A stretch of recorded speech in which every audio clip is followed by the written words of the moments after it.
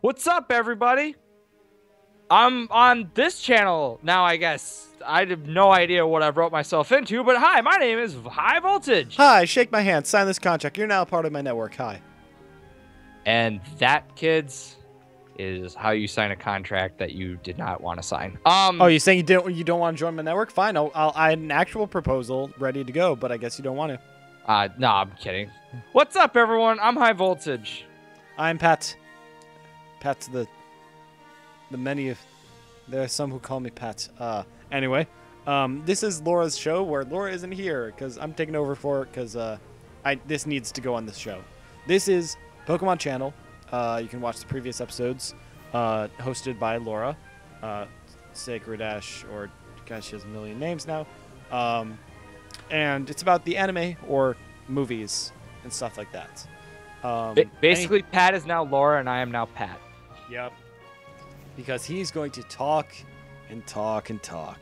And I won't shut up. And I'm just going to be here reminiscing about the first time I heard this. So we're going to talk about Generation 4 of the anime and Ash. Yep. And the basically, here's what you need to know, okay? They made Ash good.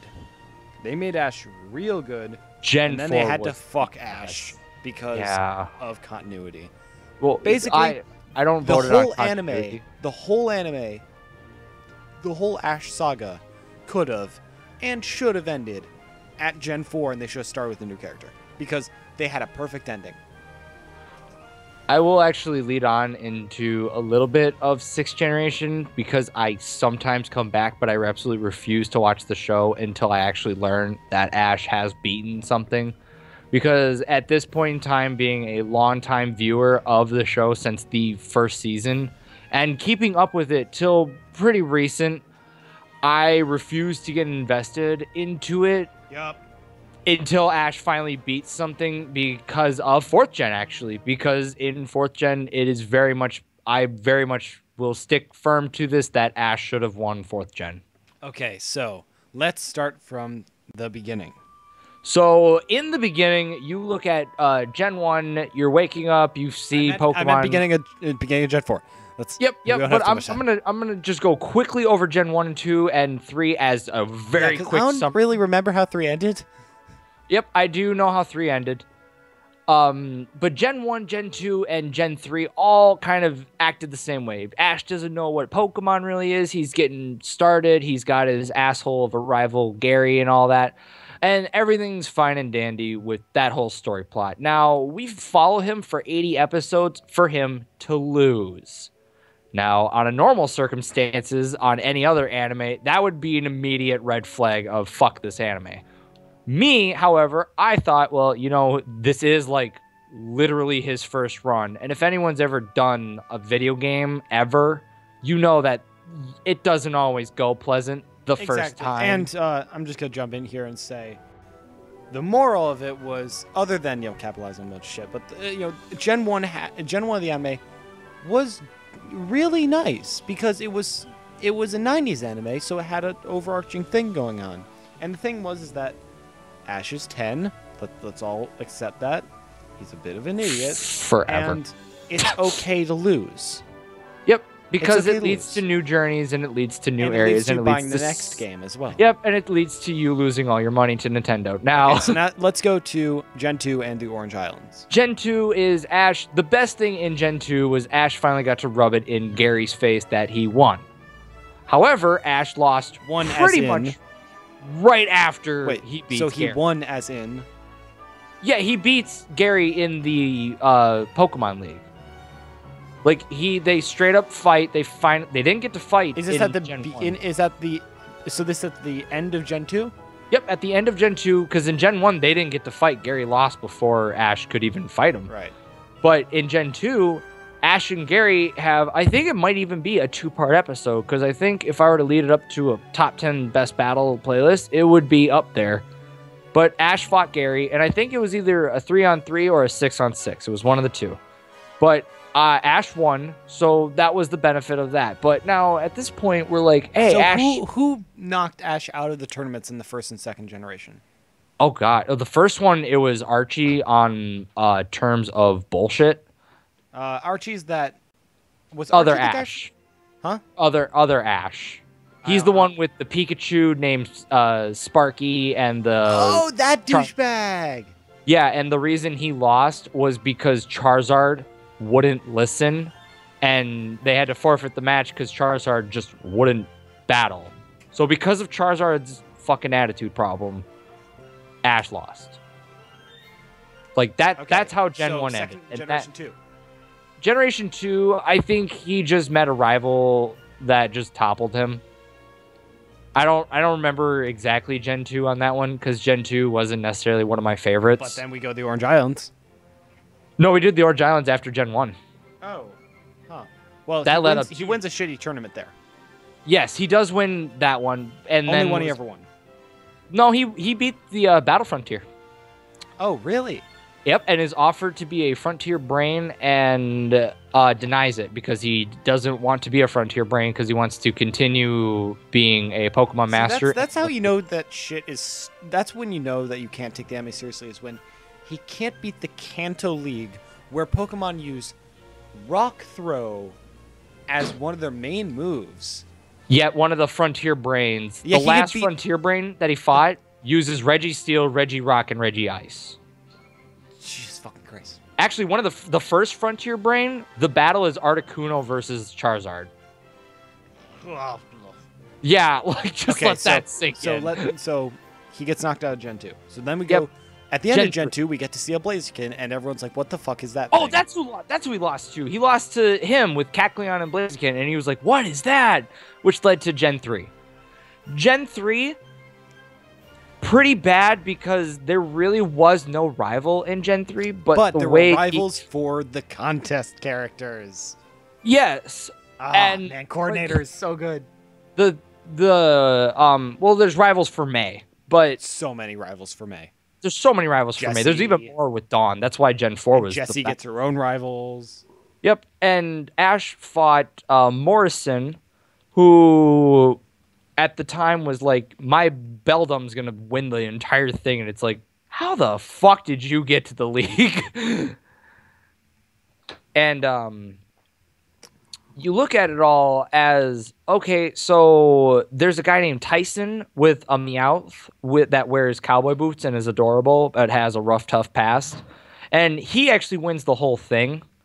But Ash literally meets them there. But Gen three was all right because Ash is somewhat teaching May what to do, and unlike Misty, who just nagged him, May's like, you know what? I need to actually learn from Ash. You know, because I'll this learn is when from they. Okay, so I'm going to tackle this because I remember the only things I remember vividly are the first episodes of Generation Three and Generation Four, which the first episodes were like this is when they were like, okay, Ash is old hat. Our main characters are the girls. The girls are the main characters, which is mm-hmm. really, really good because they both have a similar intro to the series. In Generation Three, doesn't it start with the Taillow thing? Um, How- how- lately, how lately every Ash's thing? thing. when there's new new characters other than Brock and Misty, it leads up to something happened with Pikachu. Where if you want me to explain why No, no, no. Pikachu When- sucks, at in what episode was it the thing where she gave a Taillow a piece of chocolate and then all the Taillows attacked her or something?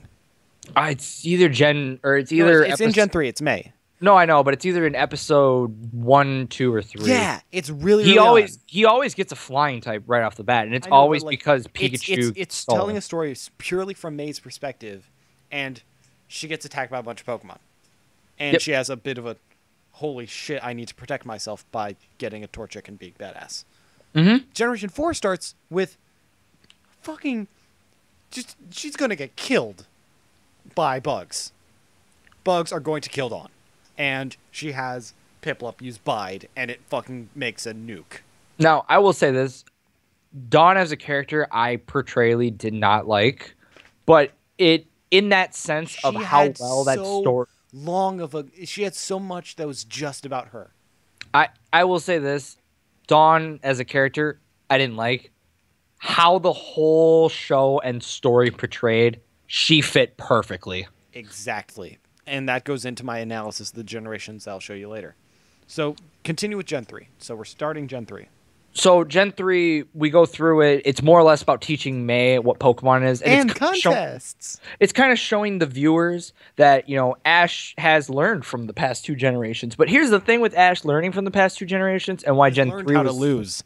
well, the starting of Gen 3 and where I noticed that Ash is taking a different route, he didn't have all three starters. He just had Treecko, which was hilarious because he looked Oh, at it, he said, This must be a.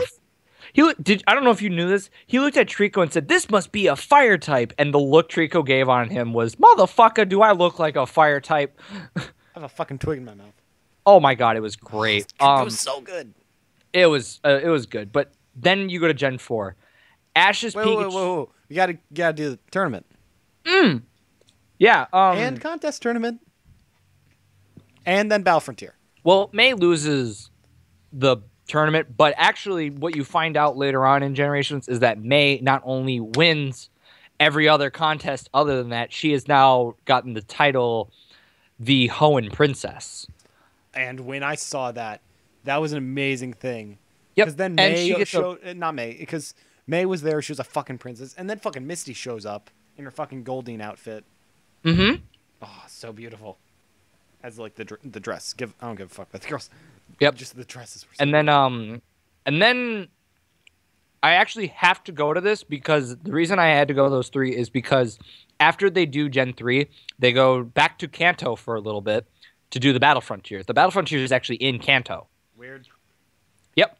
But I have to do that because Ash brings something from the Battlefront or the Kanto thing to Gen 4. And it actually plays a huge part in Gen 4. That's where he gets Right. Aipom.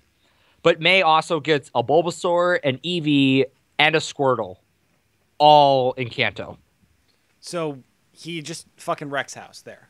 Oh my god, he just it was one of the best things ever. It's where Sceptile evolved. It's Oh, where so good. it's where um Donphan finally evolved. Um and Sceptile actually couldn't use any of his moves because he wasn't used to his new body. Oh yeah, that's a big change. Yeah, and it was great how they portrayed that. They're like, this is Ash dealing with how do you deal with a Wasn't Pokemon who Tackle Gen three as well. um Volt Tackle was introduced in Gen three. I know. Volt Tackle was introduced light in the Battle Frontier. Okay. It was right at the end of the Battle Frontier, and That's why he was practicing in Gen four. yes, because that's to anime. Now that's And- basic anime progression. Yep, and actually he uh fully forgot it now. Um Oh god damn it. Yep, he yeah, now he has a spin Electro Ball. attack. Well, no, he did Electro Ball, which I don't why. Um but Gen attack was actually nice. So- Gen so, 4 Uh, so so he gets just generally kind of panned for the tournament in Gen three. Yep. Okay, And he gets beat and it's it's rough on him, but Then he then he goes Gen- on vacation. Fucking okay. Gen four. Gen four. Gen four. Gen 4, he comes to this island with Aipom and Pikachu.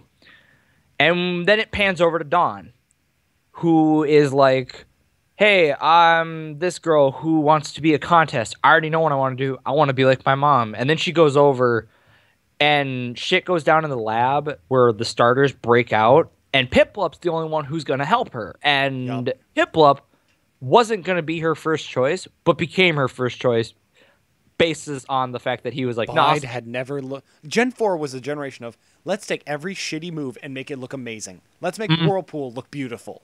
they made Whirlpool one of the worst moves in Pokemon look incredible. But And Bide just like nukes, just saves her life. but I, I could honestly tell people right off the bat one thing that would make everyone immediately watch it, and that's Ash catches a dragon type in that gem. There you go. Just watch that series now. You can just thank me for that later. However, there's another character introduced right off the bat, and I'm like, who is this? They hadn't- His name they hadn't is met- Paul. They hadn't messed with the Pokedex since Gen 1 in terms of checking Pokemon stats. In Gen Yeah, 1, no. there was a fucking asshole who was like breaking the fourth wall of like, oh, I learned this at level 21. And then there's this guy who doesn't mention levels, so it's still canon, but he's like, this Taillow, not Taillow, this Starly has fucking this move. This one has that move too, but this one has this move. So I'm gonna Actually- throw out these and then get this one. actually something incredible. If you actually go and buy the Pokedex toy, it comes with that.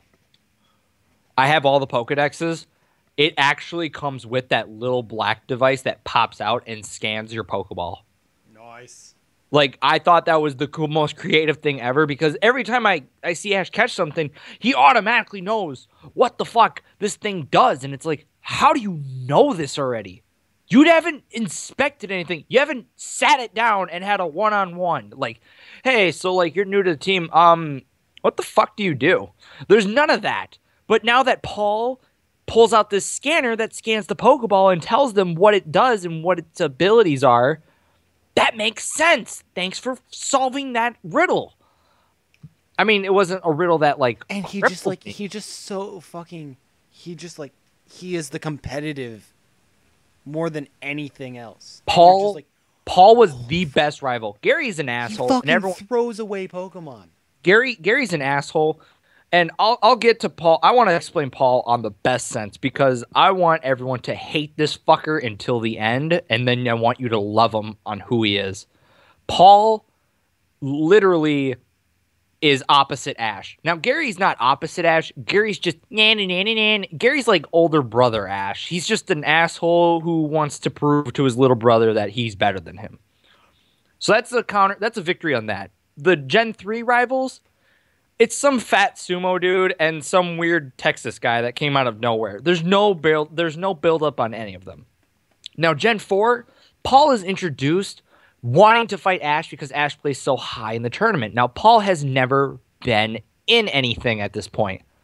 Paul's Pokemon at this point is a Starly, a Chimchar, and Elekid. Now, Ash gets Pikachu back eventually, and Ash also um catches a Starly, but he also brought Aipom. Now you look at the team, you have Bird versus Bird, which are the same bird, Monkey versus Monkey, which is the same thing, Elekid versus Pikachu. Pretty much opposite rivals. You have exact match, and it ends in a draw. And Paul is like, how did the play 16 actually get this far? Like, I don't understand it. Now, Pokemon Paul has thrown away, and yes, audience, I'm actually saying thrown away. He has thrown two Starlies away. And he has also thrown a Stantler away, and he gave away an Azumarill. He gave away his Azumarill in the gym battle because it couldn't beat a rock type. And he thought, why do I have this thing if it can't even beat a rock type? It's a water type. Get off my team. He caught a Stantler, scanned it, and was like, oh God, this thing's weak, and threw it away. He threw his Starly away, both of them, because the one wasn't good enough, caught a better one, and then the better one lost to Ash's Starly, and he was like, gross, and let it go. IVs. It's it based all on IVs. So Paul has done that multiple times, and then there's one other Pokemon he throws away. Oh, Which I you will done get- fucked up. Now, Paul's Chimchar. Paul has this Chimchar because Chimchar has a hidden ability. It's not Blaze. Blaze. It's not Blaze. I'm not calling that Blaze. I'm going to call that Super Saiyan God mode because that's exactly what it is. Chimchar, in a pinch, does not activate Blaze because you see in the game or in the show Overgrow and Torrent. And they activate pretty cool, but Chimchar's Blaze is not Blaze. Chimchar's Blaze is his tail ignites to Moltres's wing level. This is a teeny monkey with one of Moltres's wings of fire coming out of his ass at this point. Based on power, he flame wheeled and annihilated seven Zangooses because he was cornered. Paul wanted that power. Paul Paul though does not do what Ash does. Ash trains his Pokemon based on skill, friendship, love, trust, and building a bond with them. The three things he picked up. The hold up, list those again. Uh, bonds, training, love, trust, and understanding. Okay, so, uh, training got from Gen One. Yep. All the lovey-dovey shit from Gen Two, Yep. and all the adventurous shit from Gen Three. Yep. And Ash actually gets a really good team on this one. Oh, Now, Paul, the way Paul does this, here's how he trains Chimchar. He sends Chimchar out. Here is Paul's other team. Elekid at this point, Murkrow, Weavile, Ursaring, and a Torterra. Wait, how many episodes in? It it's roughly around when Ash is going with the Hearthome tournament. I think it's either after the fourth gym battle or Okay, okay, good, got it. or The possibly anime doesn't before. give a shit about fucking levels. No, not at all. And Paul's had this Torterra since he was before 10, so or Turtwig before 10. And Paul's um older brother uh Archie actually Another has fucking Archie. I think his name's Archie, otherwise if it's not it's Reggie or Riley. One of the two. I think it's Reggie actually. Riley, it couldn't be Riley. Riley is the is the ninja. Lucario guy. Yeah. Um, but his brother actually beat all the leagues. Ironically, though, his brother did not beat the final Frontier Brain. He couldn't do it and gave up on it when Brandon said, you this doesn't suit you. And he looked back on it and realized you know what? I actually want to be a breeder. I don't want to do this. But he beat all the leagues. And paul saw that as his brother giving up and being weak. And paul said i'm never doing that. Breeders for life. now paul launches shadow ball focus blast leaf storm ice beam and uh thunderbolt. Or not thunderbolt is it thunderbolt no no what's the other one yeah it's thunderbolt Okay.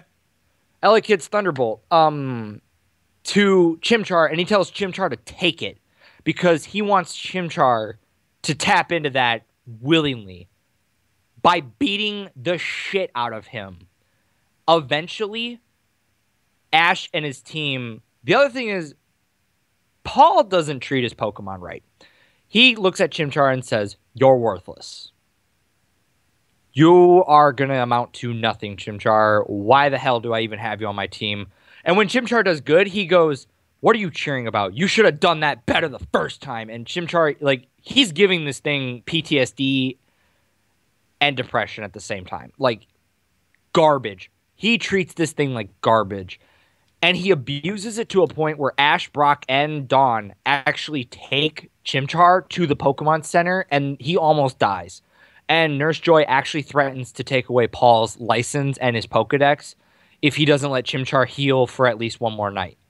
Because at that point, it's Pokemon abuse. That's how serious this gets with Chimchar. Now, Yeah, yeah. Um, by the way, uh, I just want to come in here and say uh, during this segment because you mentioned you know breeders and stuff and uh, Yep. all of that. We have a podcast uh, that we did, me and Swift, called The Versus Seeker, where we talk about the sociocultural implications of trainer classes in the games, and we overanalyze that. And I think you would really love the episode. I'll, I will definitely. I saw that. would love. Oh, you did. Okay, we will definitely. Wa- I would definitely want to do a uh, a Versus Seeker with you about treating Pokemon. Yeah. Because I, I'm not going to lie. Everyone knows the term HM whore, and everyone knows the term switch bait. Which, on some viewpoints, How does I'm that translate into a roleplay world? Yes. So yeah. we can continue. Um. So Paul um treats Chimchar to this point. Now, here's the thing: after Ash lose or Ash and Paul have the draw, Ash repeatedly loses to Paul. Repeatedly. Here's the other thing, though. Paul actually challenged Cynthia at one point, the champion, and one of the best champions, I might add. She is like the best for a champion.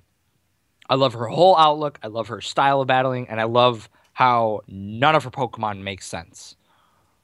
Like a Garchomp, a Gastrodon, a Togekiss, a Lucar. Nothing is solid type. She's covering her covering her bases. She's the first to do that. Uh, blue. Blue could do that, but you've kind of in knew- generation one, you, you well, there was no hint at what blue could do, or there what that blue was gonna switch it up. Blue was blue. You've seen the true. entire. Okay, yeah, get, I go. what you mean. Yeah, yeah. And you then- expect her to be like a, a dragon trainer, something like that. Because like at that the last point, one. Well, because Lance was a dragon trainer, Wallace was a water type, and Steven was a steel type. Steel Clearly, we're following a pattern. other, yeah. Yeah, I, I, I like it how he says he's steel, yet he only has three. Well, And it's not that it's steel; it's that it's fossils and rocks and minerals. But he likes to go on as steel. Like if you look, if you were to look him because up, it says thing. steel. uh, I want to go back to Gen three just for a second and say, Generation two was like, oh yeah, we have two new types. They're to balance out psychic, but then they they only introduce a few of them. That's like, okay, you know, it's like, oh, here's a gym leader. She's training a new type, but we don't even know what it really is, and she has a Steelix and a Magnemite. You're like, where was the new type? It's like almost explicit. It's almost not even explicitly stated that there is steel type. Then you fight Karen, and you're like, wow, these dark types really suck. And Actually, to- I want to, I want to point something out. Have you ever noticed that there is no dark gym leader? Mm, Yep, no dark type leaders. Nope. There's a fairy type though. So, and then you go Gen three, and they're just like, yeah, uh, what the fuck were you doing, Gen two? We're gonna take your thing and make it ours, and then Pretty we much. have a million cool steel types, a million cool dark types. So like, Steven was just like, this is steel type done right. Shut the fuck up, Jasmine. You know what's hilarious? You know how he said he's stealing rock. Yep. Claydol is neither of them. Yeah. He he is he wanted steel type whatever. We'll give it to him. Um cynthia though was so cover everything and then alder kind of followed up with that but then black and white 2 led up to iris being dragon even though half it's the same thing as steven. Three of her types are dragons. The rest are not. But back to gen 4 paul actually challenges cynthia and actually says throw out your garchomp and i'm going to send out my chimchar on you and C- Cynthia said, "No, you could actually fight me with all six. And Paul gets his ass kicked. But Paul's actually more mad at Chimchar than any of his other Pokemon because he's like, "Why did you could have stopped this?" And Chimchar feels bad. Now, Ash has been learning in this. He's actually been like the fifth gym leader. She puts my Pokemon to sleep. How do I beat this? Got it. I'm going to make something called the Counter Shield. I'm going to make my Pokemon use an element that spins to make a barrier to block the wave of hypnosis. Which goes just along with contests, which do the same mythology, which he learns from. He learns that contests show you how you can use Yep. moves to be He learned it. different. He learned it from Dawn. Who Now- subsequently probably got something from a I don't know buffer generation. Yep. And this generation now It's just Ash- innovation out the ass. Yep. At this point, we'll go back to before, um, before, uh, or we'll go after fourth gen. Now, at this point in time, Ash for a team has a Pikachu. I want to say he had Aipom. He had a Staravia at this point. He also had a. Uh, Oh God, what else did Ash have? Um, I don't think he had. No, he didn't. He had uh, Turtwig, Staravia, and Pikachu and Aipom. Okay. So he has four Pokemon. Yep. Now, Paul and Ash enter a tournament together, not willingly, mind you. Are you talking about Paul the end of the hated. show? Nope, this is the Hearthome tournament to win a Soothe Right. Bell. Okay. And Paul wanted to enter it just to get levels. That's all Paul wanted. He was he threw his bell away actually because Ash and Paul won it. But during the middle of the fight, um, it was Turtwig and Chimchar, and Turtwig was down and in Chimchar's way, and Paul actually said, "Chimchar, burn Turtwig, blow him out of your way so you can win this." And Chimchar wouldn't do it because he didn't want to hurt Turtwig. Because Ash has always said, you know, hey buddy, don't listen to him. You're you're you're a good Pokemon. Turtwig or he refused to hit Turtwig, and at one point looked for Paul for the next move because they kind of they kind of recover from it. They're also facing like a Rhydon and a Magmar, and he's looking at it. He's like, "Come on, do this, Chimchar," and he's Chimchar wouldn't do it, and then Paul turns away from Chimchar. This is Paul giving up on Chimchar. all the work. Paul has looked at Chimchar and said, "All right, you know what? I've had it. I've had it. You're just the biggest disappointment." And at the end of that battle, that somehow Ash miraculously pulls out of his ass because at this point Ash is good. He's Paul smart. throws away Chimchar. He releases him. He fucking like doesn't he crack the ball or something? No, he he releases Chimchar, and Chimchar's like, "Wait, I've been released." And then Paul throws the Pokeball in the trash. Wait, what? I thought he snapped a Pokeball at some point. No, no, I don't think Does he did ever? that. No, I don't think he I seem to remember that there was it was a forest setting. There were trees and everything. He sends out Chimchar, and then he just fucking snaps it and walks away. And Ash is just there like, what the fuck? That's what I remember. I think that that may have happened. I'm I haven't watched it in such a long I, time, but I, I, remember a Pokeball being destroyed. So he takes the Pokeball, and Oh, he might have thrown it on the ground and stomped on it. You might be right. I, I imagine I remember him like opening it up and opening it beyond the point that it opens and then snapping it in half. But I mean, he could have stepped on it. But Chimchar starts bawling because now he's out alone. And Ash looks at that and says, You know what? Fuck him. Chimchar, come with me. And Chimchar hugs Ash as if it's an orphan finding a family finally. Except that family's been there since the fucking bawling. beginning. Yep. And now Paul at this point has an Electabuzz. Paul also replaced Chimchar with a Magmar. A fucking soulless Pokemon. Oh wait, don't let Bushy hear me say that. Bushy, Yeah, but- I love Magmar. Don't kill me. It's okay. We can talk about Duck Butthead. Um, I'm gonna get I'm gonna get hate mail. Anyways, Ash eventually evolves uh, Chimchar in Monferno and evolves uh, Turtwig into Grottle. And Turtwig has problems because Turtwig's actually a really fast Pokemon that Ash had, and Grottle's obviously Oh not yeah, because chlorophyll's stupid. Yep. And Ash actually works with him to learn that. And before he evolves into Torterra, Ash actually taught his Grottle rock climb. But he actually taught him that. Also, forgot Ash gets a Staraptor. And Ash catches a Gligar, Oh, that fucking Gligar. who sucks at flying.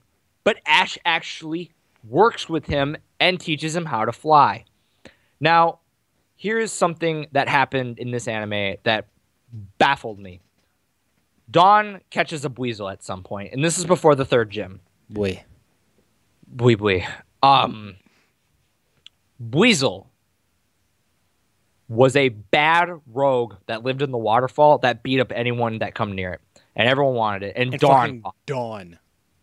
Dawn caught it, but that's after Ash, Brock, s- an Elite Four member, everyone else tries to catch this thing, and it just does not happen. And Dawn finally gets it because everyone's worn it out. Uh, Dawn basically Jack killed and took took the kill. Um, and she caught Buizel. She used it in contest, and Buizel learned to like Dawn. Now, at this point, Dawn's Pokemon are hmm. Oh man, I don't remember Dawn's? Pokemon. I know she never evolves Piplup. She Oh, never evolves. Never? Never. She gets a Buneary, and that never evolves either. Pachirisu. Uh, Pachirisu, and then yeah, and then she catches Buizel, All a bunch of cute and- little bubbly blues. except for Buizel. Um, then there's just this odd, I don't give a damn Pokemon who loves battling. Now, Ash's Aipom loves Ash and loves to battle, but Aipom loves to put on a show. Swift, motherfucker. Now, both of Dawn and Ash. Eventually, Dawn challenges the third gym leader to a battle, and Ash sees how much Buizel loves to fight, and Buizel wants a rematch eventually because he loses. Ash actually taught Buizel Water Pulse and taught him how to basically. He was basically Master Roshi teaching Goku the Kamehameha Wave. He taught Buizel how to control and maintain Water Pulse. But this wasn't his Pokemon at this time. At this time, eventually, Trade, motherfucker. Ash and Dawn look at each other and go, you know, Aipom loves contests. Buizel loves gym battles. It's just a better trade. Ash brought a Pokemon from Kanto all the way over for Dawn to obtain. But Ash now has a Buizel that loves battling. Also, this Buizel knows how to counteract Ice Beam by using Aqua Jet and turning the Aqua Jet into an ice torpedo. Oh, and at some point, uh, while fighting Manectric, or being on a ranch with Manectric, Pikachu learns how to be a badass with fucking. No, wait, no. It's not Pikachu Volt with Tackle. Volt Yeah, but it's also Brave Bird. Oh yeah, Brave Bird. Brave Bird. Ash, was intense. yep, Ash taught Brave Bird to Staraptor because he was using Aerial Ace for the longest Who time. was, who was that girl on the farm with the Manectric? Like, that girl Uh, taught everything. I mean, target don't practice and all that shit. There was some fucking breeder girl from Gen 4 in the anime who had a Oh, farm. actually, actually, do you know who taught Ash's uh, Staraptor Brave Bird? It was someone. It was Paul's brother. That's why he was at a breeder place. It was Paul's fucking brother. Yep, Reggie God, breeders are the best taught people ever. Reggie. Reggie's Pokemon. Oh my god. Um, Reggie's Pokemon is Bibarel, Swalot, Staraptor, Drapion, And, and he uh, actually is the one who and- fought Electivire for or Elector Elekid for Paul. Elekid, yeah. Uh, I thought he had a. Did his girlfriend have the Manectric, or was he just breeding that way? I think his girlfriend had the I was remember raised it was a girl. It was a girl. But now, through everything Ash has done at this point, he's been training, battling, Innovating. dealing with Chimchar's PTSD. Because there's times where when he evolves, he taps into Blaze out of nowhere and loses control and actually bites Ash and claws and beats the shit out of Ash. And Ash takes it and lets him know everything's going to be okay. I love you. Gen 2. Now- pretty much this is where ash is learning now eventually ash gets a torterra and an infernape and a gliscor okay let's review ash's team right here torterra fully evolved starter badass looking starter infernape the orphan with the troubled past is now fully evolved who can nuke Paul- the field? who Paul couldn't evolve. Staraptor, one of the toughest flying types in the game next to Talonflame. Buizel, the badass from the waterfall, who at this point knows water pulse and all that and has learned to adapt from other people's moves and uses them against. contest skills, like With contest contest driven, skills. contest driven innovation. And now Gliscor, who has mastered flying due to Ash's training, knows Steel Wing, X Scissor. Um, I don't remember the other one, but I do know that he did uh, learn Stone Edge, And then but Pikachu. eventually learns Giga Impact. Jesus Now- fucking Christ. And a Pikachu with Volt Tackle and all these other moves. Now, Ash's team at this point, yeah, these are is- all trained by a basically a guy who we gave up on. No, he's trained. All no, no, no. Ash and his Pokemon are trained by the breeder who won all of the league tournaments. Apparently, is what you said. Um, just Staraptor. Just Staraptor was trained. oh, okay. I, I could have Turtwig, that. Turtwig was given to him by pretty much the other Bulbasaur lady who like was raising Pokemon on a farm. Uh, Chimchar was an orphan trained by Paul. Buizel was trained by Dawn. Pikachu had something to do with the target practice and the magnet and the uh, fucking Manectric. Yep. Yep. Pikachu learned how to control his Volt Tackle better. Yeah, on the farm with the breeder girl. So Brave Bird and controlled Volt Tackle. Yeah. That's what he learned from Reggie. Now, Ash challenges Paul to a six on six match after the seventh gym leader. Ash loses badly. Paul Because loses. Paul has a fucking pseudo ledge. well, At this Paul. Mm, Does he have the tur? Nope, Paul does not have a pseudo legendary. Doesn't he eventually get a Tyranitar? Um. I thought he got a Tyranitar. At this point, Paul's Pokemon are Electivire, Magmortar, Ursaring, Jesus Christ. um, Weavile, uh, Honchkrow, Oh Torterra, and I th- believe that was all, unless there was a Ninjask. However, fucking crazy. However, he uses Weavile, and I believe maybe his Honchkrow is there too. But those Pokemon lose because Paul is scouting out his team using Switchbait. Sends in Magmortar, sends in Electivire, and sen- actually, I think that's all he used. He just swept. Ash didn't even get to really see his team. They're team. 540 base stat Pokemon. Oh, he just wrecked Ash, and Ash took that loss harsh. Now, at this point, Ash has met. Now we're going to the league. Ash has met two trainers and two tutors. A guy who uses a Mr. Mime physically with Thunder Punch, Fire Punch, Focus Punch, and Ice Punch. And Ash trains with Buizel to learn Ice Punch. This is also one of the only generations where abilities actually mattered. Oh yeah. You got to see Swift Swim. You got to see Guts. You got to see Chlorophyll. You got to see Blaze. Blaze. You got to see Torrent. you got to see everything static, the whole works. You What did- got to What see did uh what did Staraptor have? Uh I think he has Intimidate? Guts.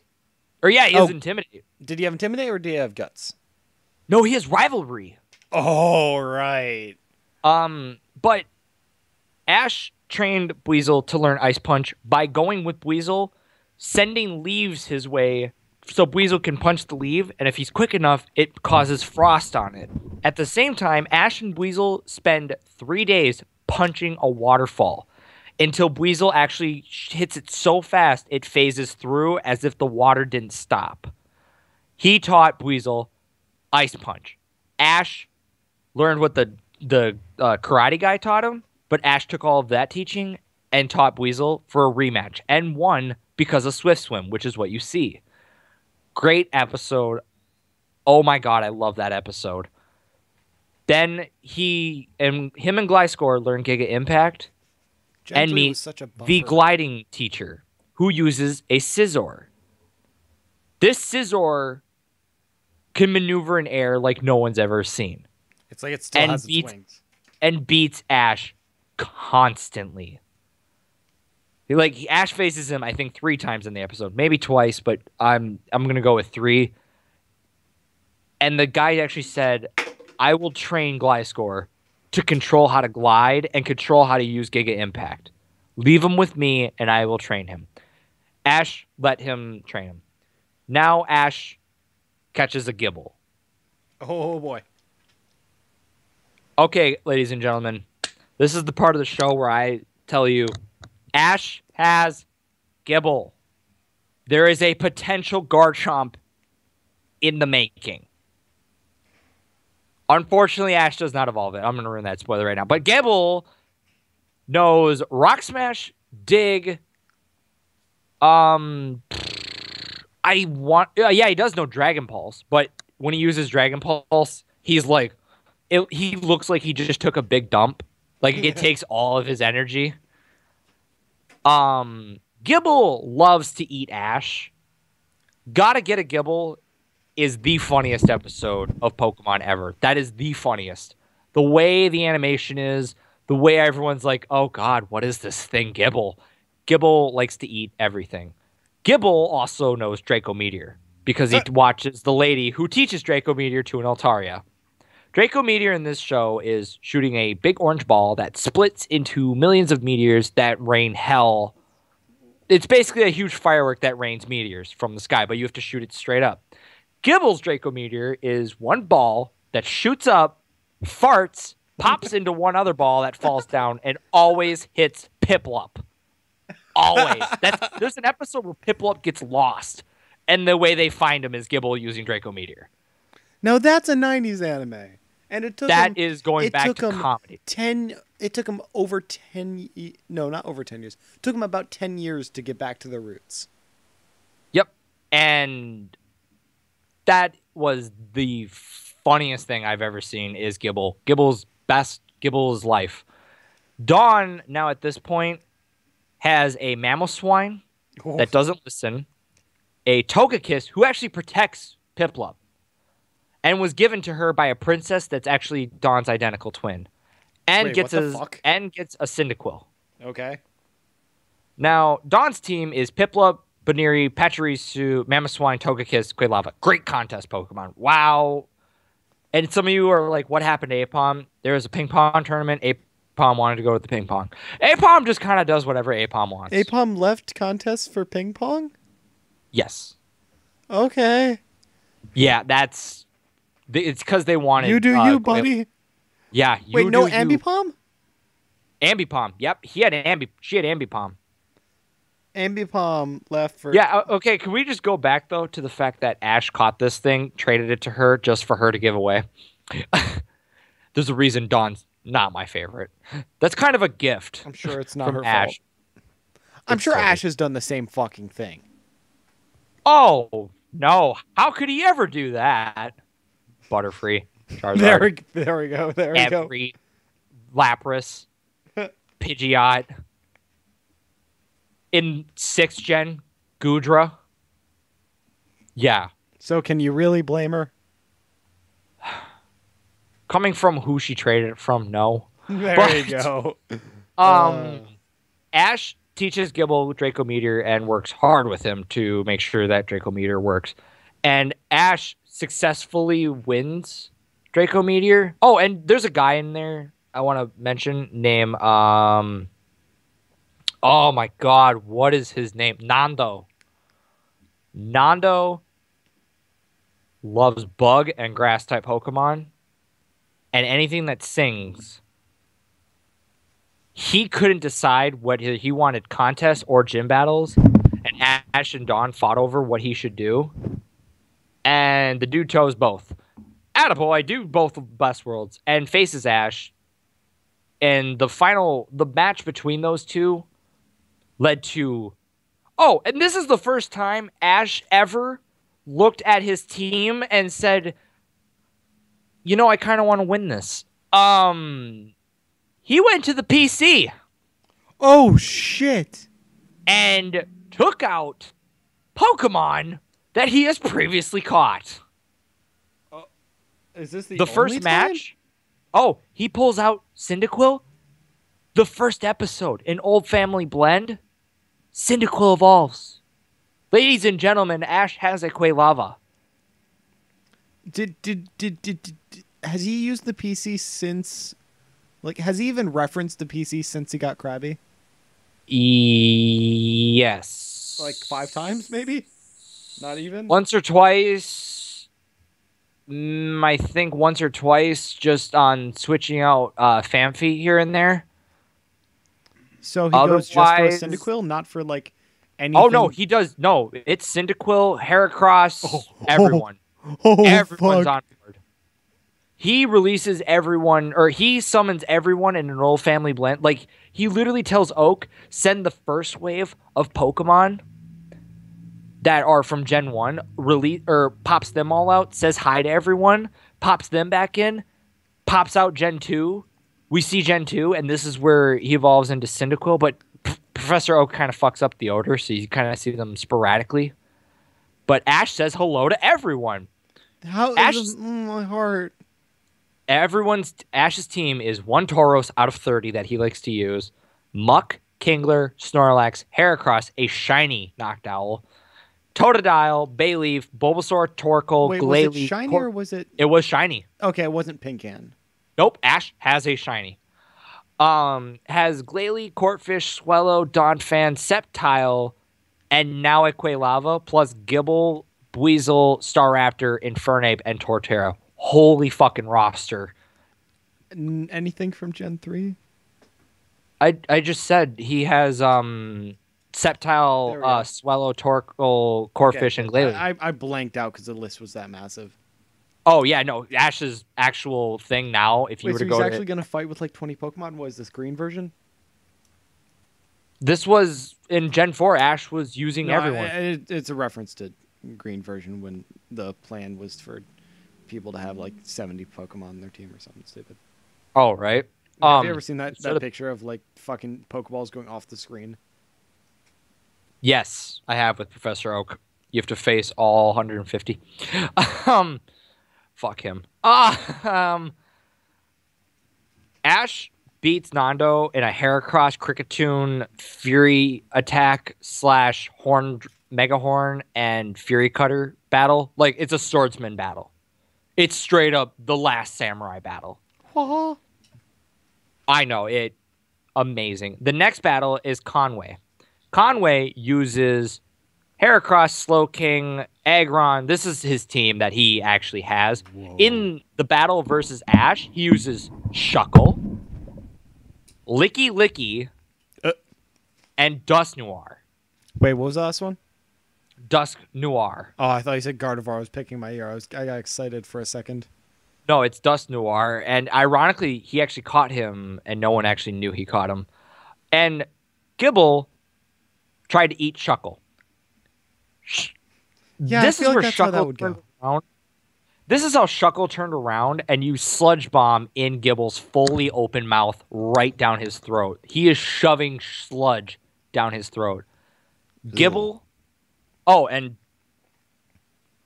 Conway is a strategic mastermind. Shuckle, go Shuckle. And everyone's like, Shuckle? Gible actually won that battle, and Ash almost lost right there because Ash sent out a Noctowl. And then I believe Ash. Oh, what else did he use? Um, I believe he used either Quilava or Donphan. It was definitely one of those two. How'd he beat the Shuckle? Um, with Shuckle in his mouth, he used Draco Meteor. He turned Shuckle into a Draco Meteor and launched him. Did he die? Jesus Christ. That's what my thir- first thought was. Here's why I give Conway props. Go Shuckle. Why are you using Shuckle? Use Power Trick. Rip. Oh, you motherfucker. Use Gyro Ball. And the only way that Ash could stop Gyro Ball is for him eating it. Lickilicky. Um. Uh, The only Lickilicky, I think, lost to Noctowl. Lickilicky is the only Pokemon that, through level up moves only, can get a stab explosion. Therefore, one of the strongest vanilla moves in the game. right? But Lickilicky likes to use Lick and Power Whip and then Thunderbolt. because why not? Because yeah, why not? And then uh, I think Ash's um, no- Noctowl beat it to extra sensory. Um, then Conway sends out Dusknoir. Dust Noir uses Trick Room, making a slow Pokemon ridiculously fast, and starts annihilating. Yeah, it, it is Donphan annihilating Noctowl and Donphan by using Shadow Punch and Such Thunder Punch. shit move. So we have. Oh, and here's the best part. Ash saw Thunder Punch and was like, "Shit, I gotta get knocked out out of there." Yeah. Trick Room's up. Conway actually told Dusknoir to use Mean Look. He locked his Pokemon. Now, if no one has seen in this podcast so far, we have seen multiple times people using strategy. Something we really rarely see in Pokemon up until this point. You see it every now and then, but nothing like an entire season of it. An entire generation of just And this and this- this, goes to what you were saying on one of our first Skype calls is that it inspired you with this perspective on how Pokemon moves are not just attacks. They're it's a whole philosophy that you can do anything with it. And you if you know, Pokemon Go is anything what it should it- be. it's not it's, it's not gonna be anything. It's no, it's it's gonna be garbage. Um, although I am gonna lose my life to it because I'm just gonna pack my bags and leave town. no, um, no, you're not. I'm just gonna catch everything, man. Um, if Pokemon didn't have the turn base and they didn't have the actual stats, you take the stats out and shit worked like they did in the anime, you would think of Pokemon in an entirely different I mean, what was your whole thing about being on a cliff and something comes back to you? being on a cliff and something comes back to me. Yeah. Oh, I think I was um I think I had a dream where I fought Red and it was like my team versus him no, and no, no. One of your Pokemon came back to you. Think of all the Pokemon you've like lost or whatever in in RP dreams. Oh! Oh, yeah, um Myth. Myth. Myth my f- my shiny Flygon. All right, guys. No, Side- no, no, no, no, no, no. That's a sad story. That's a sad story thing.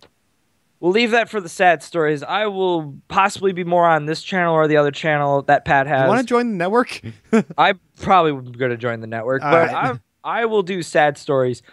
There's a great story behind a shiny Flygon that people must hear. But anyways, Dusknoir loses to Gible because he used Shadow Punch, and Gible ate it. Um, then Gible decides to tilt Dusknoir up and Draco Meteor him, turning a Dusknoir into a Draco Meteor.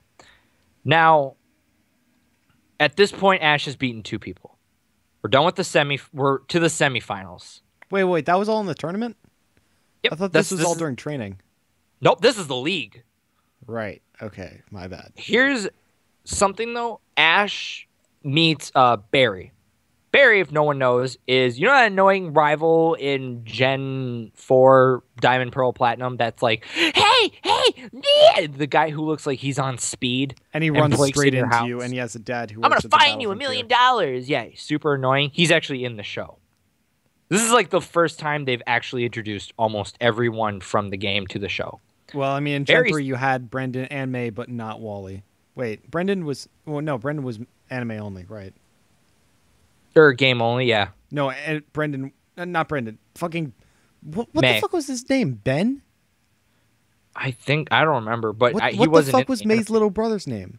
Oh, Max. Max. What the But fuck Max, kind of name Max wasn't Max wasn't uh, Brendan at all. They didn't. The Uh, no, male, no, I, I just forgot his name. I just no. Oh, I'm- yeah. he's supposed to be the little brother that's in the house, but it's like, eh, Oh yeah, but um, Barry's Pokemon. Max. Now Barry's a jackass, yep. but Barry actually has good Pokemon. Barry has Skarmory, Hitmonlee, Heracross, Roserade, Staraptor, and an Empoleon that he absolutely cannot live without. And Barry's not a great trainer, but he somehow manages. Because he's And- got it in his blood. His dad's a fucking battle frontier. Yeah, he his dad's ridiculous. But his Hitmonlee like knows Blaze Kick. His Skarmory he uses as entry hazards. Like he does use Skarmory the way you're supposed to use Skarmory. he Roserade the way he's supposed to, not necessarily Heracross. Staraptor he doesn't know Brave Bird. Empoleon Close is his ace in the hole. I think he might know close combat. there you go. That's all you need to know. there is an episode where it's called casting a Paul on Uh-oh. Barry. Paul goes up against Barry. What an ass smackdown. Three on three. Hitmonlee, Skarmory, Empoleon. Paul uses Magmortar, Electivire, and Ursaring. He sends out Toxic Spikes. Or Spikes. Paul switches out his Pokemon because Barry's like, haha, he won't switch out his Pokemon. There's entry hazards. And Paul does exactly that. He's like, I don't give a fuck if they get hurt. And sends them out anyway. Jesus And he- Christ. he's like, "What the fuck is wrong with you?" And he they take damage, and they're like, "I don't give a damn." And then Magmortar annihilates Skarmory. Hitmonlee hits him with Blaze Kick because he's like, "Ha! I'm gonna kill you and get a burn." Because he has close combat, Mega Kick, and Blaze Kick. Blaze Kick led to Ursaring's guts because he got a burn, and then Ursaring annihilated Hitmonlee with a hammer arm. Empoleon was beat to a pulp by Electivire and actually turned into Torrent and used his most powerful move, Hydro Cannon. This is also the first time we've ever seen Blast Burn, Frenzy Yeah, Plant, yeah. and Hydro Cannon. And Paul annihilates him by zapping the living hell out of him to a point where they actually don't show Empoleon going down. You just see him standing there with blank eyes and him just smoking. Paul spanked Barry. Now, the next battle. What are like? How fucked of parents did he have to have?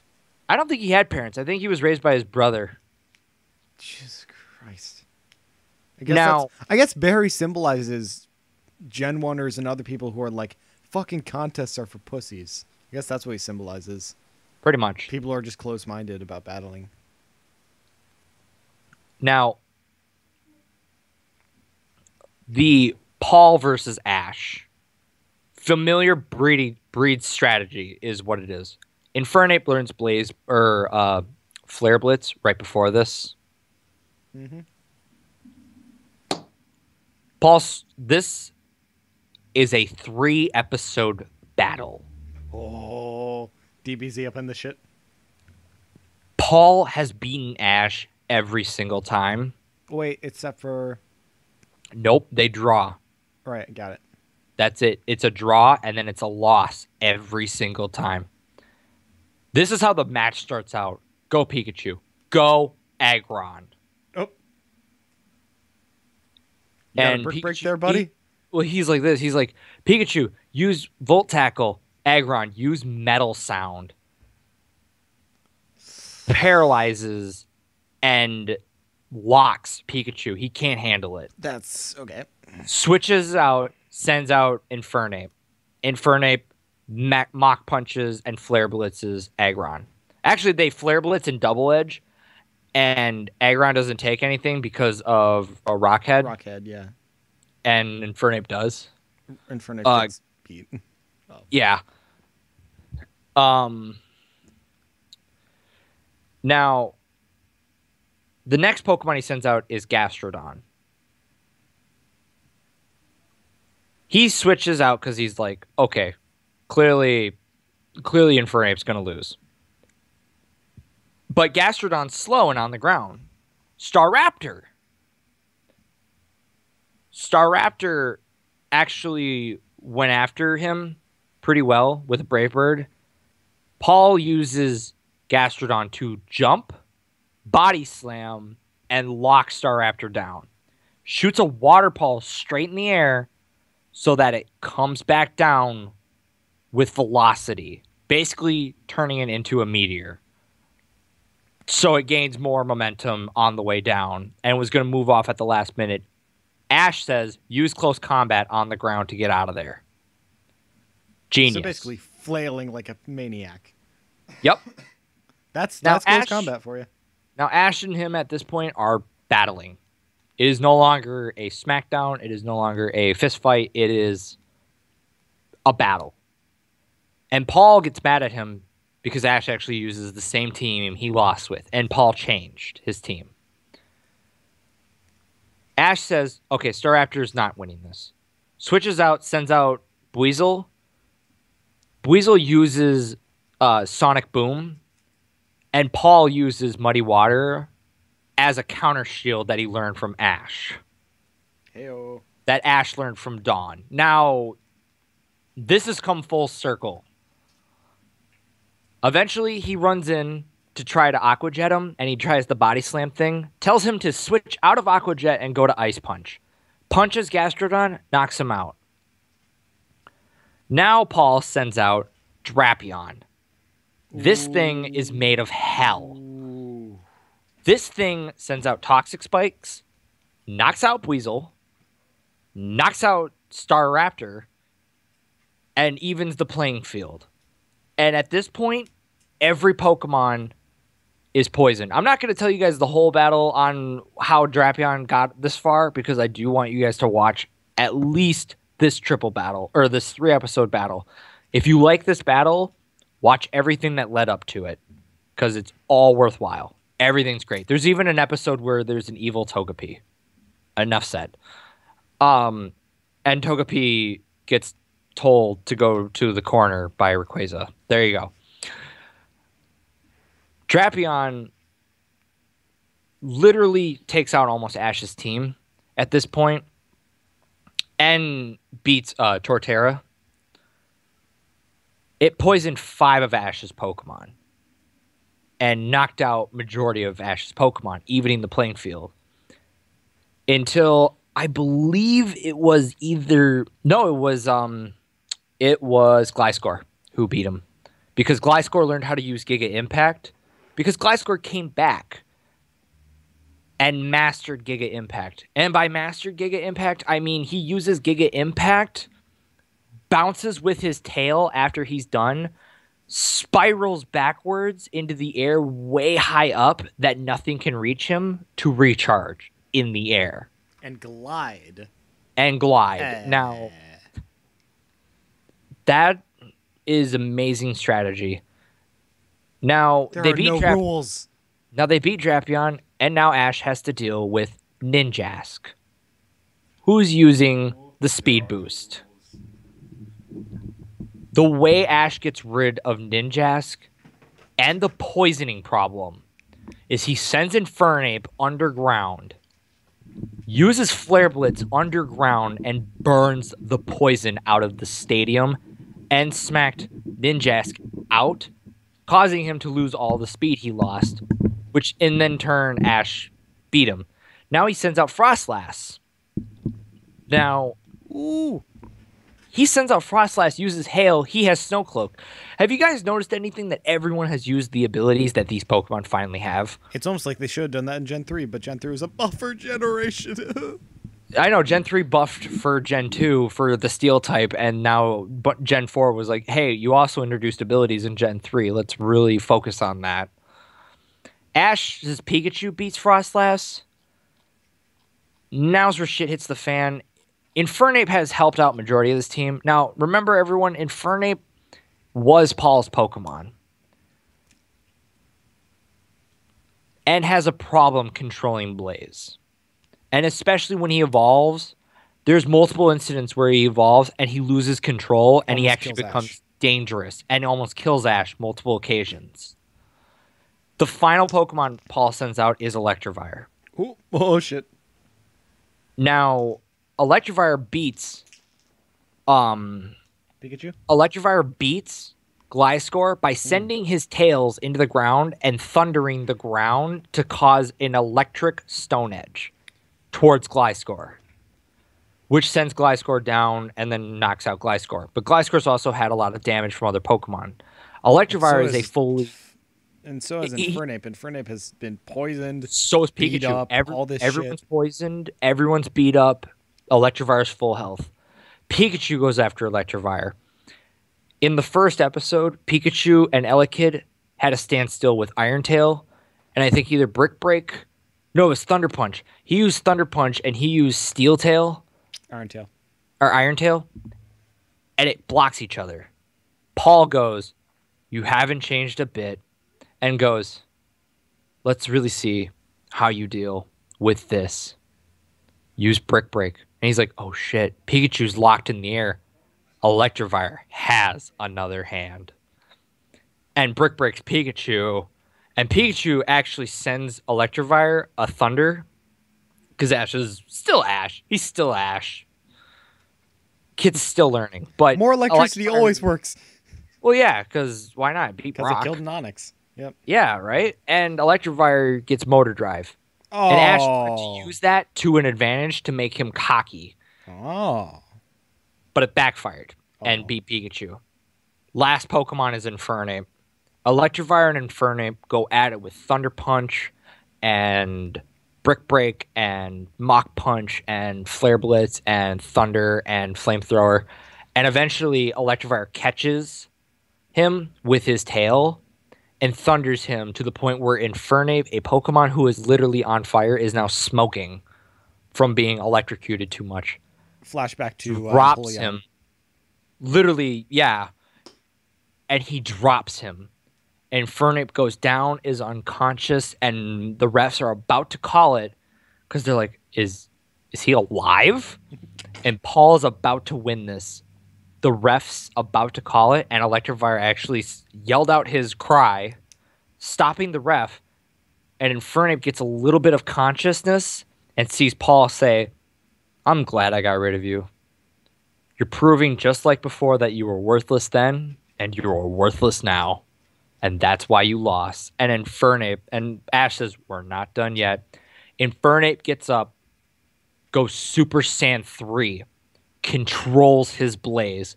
And I mean Super Saiyan 3. His fire hair is redonkulous in this. Goes Super Saiyan 3.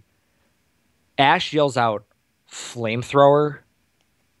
That But was what he not gets a flamethrower. That was an ion cannon coming out of a monkey. That was not flamethrower. It didn't have a flame. It was a straight red beam and a huge one at that. A n- sends Electivire flying. Electivire gets up and he's like, uh, well, that that's a little unexpected. He tells him to use Mach Punch. Infernape sends him flying again by teleporting. Wait, Infernape what? at this point has become so fast that he actually can't be traced by the eye. That finally ends with them using, I think, Thunder Punch and Thunder and a Flare Blitz. The entire stadium turns into a tornado of electricity and fire, and eventually has Infernape phase through Electivire. Oh. Oh. and oh. Electivire goes down. And Paul just sits there and goes, Holy shit. I just lost to the Pokemon I bullied. It's one of the most amazing battles I could have ever expect Pokemon to ever produce. And They've the never tried to top reason- it. Gen 4 is bullshit. All right, here we go. Get ready. So tell them about how this guy fought his last opponent. Oh my god. Okay, so, So before this, Ash's fight. Yeah. Before this there's a rumor that there's a guy out there who is beating people left and right With one Pokemon. with one Pokemon. He's One. beat the entire Pokemon League. We're talking every battle and every gym leader with one Pokemon. This Pokemon is Darkrai. Darkrai. You're bringing a legendary into this. That's not fair. Just one legendary, and nobody knows this I even was has the rest of a team. I was expecting, and this is actually, if you actually look back and actually do the math on Wait, this, who did he Ash beat? Who did he beat him-? Who was the guy that they showed beating before? It was a character, right? That people knew. It was no. This dude is totally No, introduced. no. at I the- mean, I mean, before he fights Ash, he fights someone else, and that's when we see his Darkrai, right? um, Barry mentions him, and that's how you kind of introduces him. So when he And fights, so when he fights Ash, that's the first. he's time? kind of just in the shadows right Right. now. Yeah, no yeah. one really knows about him. Okay. They just know that he's beating people with Darkrai. Ash faces him. Ash's team at this point is Sceptile. Um, Wait, this is not the finals. This is the semifinals, right? yep, this is the semifinals. And who are in the other brackets? Who are the other two people? Actually, no one knows. Not it's it's just two other people, and Ash faces Darkrai with a Heracross, who Ash taught Sleep Talk to. Props, Ash. Like, you should have won this. Sceptile, literally. Oh my! Like Ash brings out the best team with like Swellow and Pikachu. I think Torkoal and Donphan and Pikachu and Sceptile and Heracross beats Darkrai. Ash actually beat Darkrai with Nobody in the entire region was able to do this. Ash is the first to beat Darkrai. Can I can I say what comes next? May I have the honors? Let me set you up for that honor. All right, all right. It should have ended with him going, "You know what? That's all I got. You know what? Thank wow, I'm impressed. You beat a legendary. Congrats, kid. You win the tournament." Pat, tell them what they send out. Except for the fact that I have a Latios. Why? And Where did I'll- you get these things? If you go to Serebii, his two red, his two actual Pokemon are Darkrai and Latios. and probably four other legendaries. Yeah, he has a team of six. It is confirmed that he does have the team of six, and So- it's a good chance they're legendaries. Yeah. So what hap- What ends up happening is that Uh, he beats Sceptile, takes out Swellow, and then a double knockout with Pikachu and Latios. Ash took out two of his Pokemon. And then the way the tournament ends is Tobias um Tobias beats this other kid that's just out of nowhere with just Darkrai. If he had just had Darkrai and that was it, uh shit, I don't know if you can hear the sirens around me, but Yep. Yeah. So wait, I thought that I- I, I thought got that mad when you told me, I thought the story some- was that he beats a kid, he beats Ash, then he loses to a kid. No, no, he beats the kid. he Alright. beats the kid with just He, Darkrai. he but wins. He wins the tournament.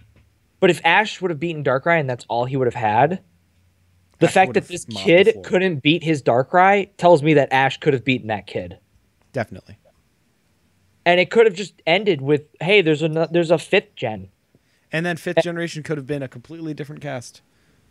Yeah, that's where they could have ended it and moved on. But- Here's Ash's fifth gen. Ash's fifth gen is a Sandile that goes everywhere with him until it's a Krokorok, and then finally Ash catches it as a Krokorok and evolves to a Krookodile. The episode after he catches Krokorok catches a Roggenrola. We're talking double episode capture. Gets a Boldore, catches a Palpitoad, gets a uh, um, oh god, Sewaddle and whatever Swadloon is, and Leavanny, hatches a Scraggy, gets a, girl Unfezant, has Snivy, has a Pignite, has Oshawott. Can you see that nothing has really evolved from this point? It, it's not even worth it. And he doesn't get far at all in this one. There's no rival. There's no there's no even like build up. It's The- best wishes. That's- My best wish is that Ash were to go away. Um Well, here's I'm I'm gonna take the reins for a bit. You can you can calm yourself down over there. that, yeah, I'm gonna So we said that Ash lost the first generation because, well, I mean, he should have because he was ten. He had no idea what he was doing, but also Yep. because it shows these kids, all the kids watching, it's okay to lose. And in generation, and then you know, it's it's okay to lose. Sometimes you'll win, like in the Orange Islands. He wins just a mean little thing. He's like, okay, that's nice. Shows kids that he's not a loser. You know, you should still have faith in this main character. Then Generation Two comes by. He's like, yeah, it's okay to lose. Generation Three is like, okay, except that he's never gonna win. Generation Four is like, He's so close. but then that, you know, when something gets used so much that it loses its value. Then when Yeah, up something on descends from heaven and says, "It's I gave okay up to lose," you turn up and say, "No, it's okay to lose when you're when you it's okay to lose, and when I've learned enough, it's time to that I win for once. Some it, the thing is is that there's a thing that we feel where we say something deserved to it happen. And it was simply marketing and that was that like that Darkrai was the embodiment of just uh, the Deus Ex Machina of Ash you cannot win. And that's I'm so glad you listed fan, it as that. and a, a, every single fan realizes at this moment that this is the director of the sh- not the director of the show, but the owner of the show coming down, talking to you through this character, saying, "Kids, your hero Ash will never win a tournament. He will never." Ever become Pokemon League champion? He is always going to be doing the show. You will always watch him fail every time. He will never win. You have no role model. Pretty much. Actually, I have his listings up. Um, in Kanto, he was listed in the top 16, which ain't shit. In Johto, he was listed as the top eight, which is uh, Good. whatever. It's not even semifinal. I actually thought he did better than this, but apparently I'm wrong. In Hoenn, he's actually top eight as well. In uh, fourth gen, he's top four. Can you see why we were excited? Generation 5. Two battles. Generation five is top eight. And Generation 6, I don't think it's done yet, so. No, um, Ash actually lost to a guy who said, "Yeah, this will be an awesome five on five." Um, it's a six on six. What? You didn't bring a a six Pokemon? I didn't think I, I didn't realize I had to do that. He forgot to bring a six Pokemon and still beat Ash. See, I'm trying to think of something. There's there's been a point in some liter is something in the in in some story we all know or something where someone has come down and said, like, you can never blank. This is blank. This is not blank. You can never blank. You know, Ash is not allowed to win, and he will never win. And Ever. the Deus Ex Machina, that is the owner of the show coming down saying everything that you've learned. Like the whole generation was about building up to everything you've learned and all this stuff. And here's the real thing. I and this is what we said the first time we talked about this, and I'm so glad I have not said this the entire time, but here is the line. They accidentally made him too good. They made him too powerful. And the only way they could stop him was by cheating. And when you say that you get frustrated that they had to cheat to cheat him out of his victory, and then Ash is just this hollow shell from then on, you have to realize that Ash did win. Ash did win the Pokemon League tournament in Generation 4. You want to know why? Because they had to cheat. And if someone has to cheat, if the god of that world, essentially, the creator of the, sh- the owner of the show, made them, made Ash too powerful that he had to cheat him out of his victory. Even the moment that Latios entered the tournament, Ash won. Right? Because if we say I that, consider he beat him. not even that, but just like the fact that they had to cheat. Even if Ash got top 16, let's say, the fact that they had to install a character into that tournament who had cheats enabled means that Ash won. Once you force someone's hand, you've won. It doesn't matter what happens, but it's just like in a court case. If any evidence brought to the court case is found through unlawful means, the entire court case is thrown out. I will say this too, because we we did go past the mark that you wanted to. Um, Yup. But I will wrap it up with saying that on Gen six, I am keeping my eye out for Ash because the moment the reason I'm keeping my eye out for Ash is because we have brand new characters named Serena, who actually has a love interest with Ash from another from Gen one. Apparently, this is before Ash was even ten. There's well, actually I mean, a Ash doesn't age. So, oh, I mean, yeah, he's 11, but it's like all that hasn't happened in one year because technically. but there there is a love interest and that that intrigues me in some way because they haven't really pushed on that And um, um, I mean, it's it's it's France. Oh, yeah they also have but straight and and and she does change on. her style she cuts her hair and everything it there's Yeah, a lot no, of the, the the style change is what gives me uh, hope because like Serena in the manga. Okay, let let's touch into the manga here for a second and how, you know, Generation Six manga is probably good, but it's been cancerous since Gen Five. Serena is like, you can't like her in the manga from what I've observed because you know it's like how you couldn't like the people from Gen Four at the beginning because they were so privileged and just you, you fucking hated them. Now imagine Yeah. if those kids were 17. You'd fucking hate them. And in the show, she's this blonde, just like Barbie doll. yeah she's then- the stereotypical But then, then she cuts her hair and gets a different outfit. And because, like, think of this. Like, it's probably at the same point in the game where you get access to the Lumiose City Buku. Or not Buku. What the fuck is a. A Buku means. To the the boutique. the boutique. you you get to because what did we all do when we got access to the boutique and had enough money? We I completely know, I redesigned it. ourselves. I, oh I- the the actual uh the the clothes. Oh yeah i was in about to say once you hit I, was- a point, I thought you you, meant the like cafes and the no, no, the no, no, no, no, no. The sushi chef cooking thing i was like i avoided twenty those thousand dollar flannel shirt. Oh dude i out of that. am fully in a tux of fedora and nice. black i went ham on that Yeah, i am and we get like, haircuts nicest- too. yep And we get we keep doing the haircuts until we can get the advanced haircuts. but Like, this is the point in the game where you completely redesign your outlook on the rest of the run. Because remember, the game drops off fast. The game just is empty after you beat Lysandre. So what do you do? You redesign yourself and you try to make the best out of it. Serena is hitting this change at the exact same point we do.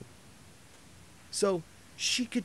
We have no idea what she's gonna do because she could be a, the best character ever now because she's had a complete design change. I will say this with the anime, I am keeping my eye open, but I'm not again, I'm not investing in watching it until I know Ash. I'm basically doing future spoilers before I watch the series. Like I click on it and I'll every now and then come back to it to see like has he won yet? And if they say he's won, I'll go back and watch it. I really will. I I will spoil myself till I can watch it because I haven't watched the build up to the entire thing. It's, I just the- It's know- the same with me and the manga. I could never go back. I, I, you know, after I started reading Generation Five, and I kind of abandoned it because I mean the what I was like, um, I abandoned Generation Five, and then I saw stuff about Generation Six. I mean, I saw the crucifixes of Generation Five. I saw the fucking mind control of Generation Six, and I was just, I was just completely turned off. But then I saw stuff of Oras, and it's actually Ruby and Sapphire, and they actually continued their story. And there's Yep. pictures of Ruby hugging a Dancy, and there's Zinnia in it. I want to read it so bad, but it's part of the Gen Six storyline. It has Gen Six characters in there, so it's like. And also, how can Zinnia exist in his universe if? Well, I mean, there is that thing at the end which kind of could mean that, but like, I I could never come back. I would need something so big to pull me back. And It- that, it that's would. basically you with the, the reason- me with the manga. The reason I'm like they definitely keeping my eye out. out. The reason I'm keeping my eye out is because Ash is only doing one starter, and for the most part, Ash has a powerful team.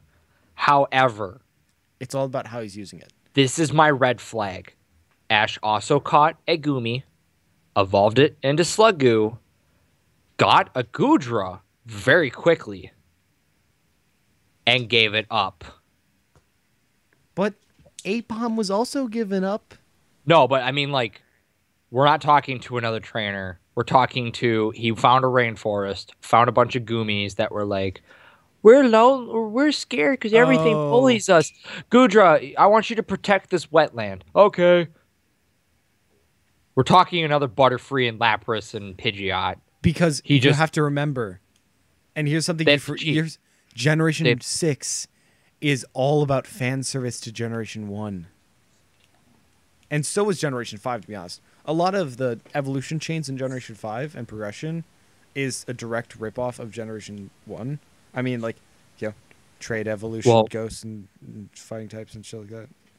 I, I Um, do have. We do have to wrap this up. I do have to. But uh, I will say this. There's a reason why you're seeing parallels between Generation 1 and Generation 6. That's on purpose. Yep. this this is something though that is terrifying me. Ash has another potential dragon type in this one.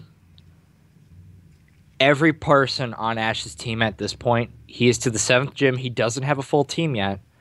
Every Pokemon up until this point is weak to electric, except for Pikachu. He has a Talonflame, weak to rock and electric. He has a Hawlucha, weak to, again, rock and electric. think. He has a Noibat, weak to electric.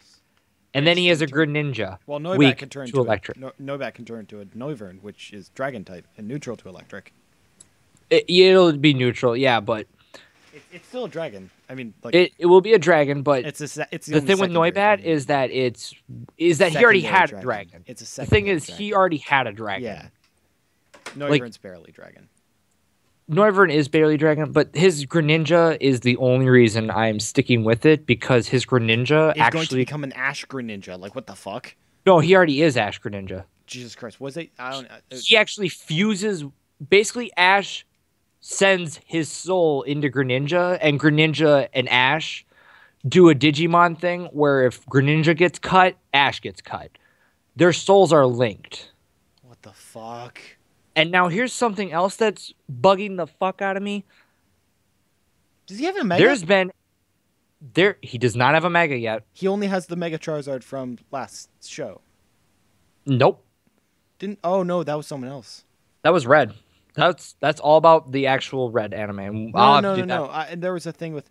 Oh no, it wasn't. Oh, a, it wasn't a. No, it wasn't a Mega Charizard. It was a Hydreigon. It was just a black dragon. Oh i was going to say there's a guy named alan no, in the show yeah, that's different. Um, and do you think that he's gonna get a Mega Ampharos? Then, like, I don't. I would have no idea. But Alan is a sub character that's been yeah, kind no, of. I, I remember. Yeah, that We can't. We They are can't now- open up the can of worms of those past four movies. No, I'm no, the Mega Evolution series. We cannot open the, any of that up. They're in the anime now. I know. Ash- we, we can't no, open Ashley any that up. him. We we can't open that up. The big can of worms. Well, no, that's the reason I'm keeping an eye out is because Alan, this sub character who is actually possibly going to take over the show, has now met up with Ash. Okay, let's let's leave that as a cliffhanger. Yep, there's the cliffhanger. All right, well, thank you for having me on here. I'm glad I got to blow up on Gen 4 and why that's Oh the best. Ooh, that was good. Um, I suppose I should sign off and tell them where they can find me. They, you guys can find me at HiVoltage X11. I do uh, Let's Plays, uh, various uh, 100% completion res- Let's Plays. If I can know I can complete it, I'll do it. If there's a challenge and I know I can do it, I'll do it. Uh, I do The 60 best- the best way to contact him, is, the best way to get to his channel is through links in the description or links on any of my channels. Uh, I'm going to induct him to be part of the network, so he is linked on all of my channels. You'll find him. Yep. And if you want Senpai to notice you, uh, just comment on my videos. I respond to those pretty quickly. Um, I do 60 second Let's Plays though, where it's a quick summary of a game or me just acting goofy in a game. I also do Bad Decks, which is an alcoholic, drug So abusive Pokedex with a dork of a trainer who just do Pokedex entries in manners that shouldn't be a thing. But I will continue that. I yeah, And then we have I do shows unboxing. down the down the pipeline. We have a year to make up. pretty much and i've been working on it but if i don't upload daily note this i have a life too and i'm not big enough to wear youtube You're gonna have a big life. I would not. I would start stockpiling videos to upload. Weekly. yeah Start yeah. weekly and stockpile videos. Yeah i'm thinking every weekend i'll do just an eight hour session of just videos and then the next weekend i'll just edit them all oh and Yeah. funniest videos if you guys just want to go to see what the best Oh, shows i have definitely. would be Yeah. spec ops season two go watch all the Mhm. spec opses they're the best The spec ops were like good. Like I used it in the montage for the anniversary video. It was just like I love the editing that you do. I mean, this guy bleeps his shit. He bleeps forty minute Awful. videos. the funny thing is is that well they're not they're not 40 minutes but they are 27 minute long videos. You Yeah, edit out but- every single swear. What the? yep ridiculous. and the funny thing is is that i don't actually censor on all my other channel or all my other shows it's just that one and it's the one show that shouldn't be censored because it's the most graphic which just makes it that much more fun. of fucking censoring all that stuff. Yep every time i said fuck i go meh and every time i say shit it's a ah! there's a lot of editing that goes into that Okay, let's sign off. all right well thank you guys thank you for having me on Yes. Welcome to the TPT or the Welcome to the TPT network and welcome everyone here who's watching to the TPT network. Uh here's to this su- this spring, well this winter, this spring and this summer of a lot of wonderful cross promotion and collaboration on new material. Goodbye. bye Readers rock.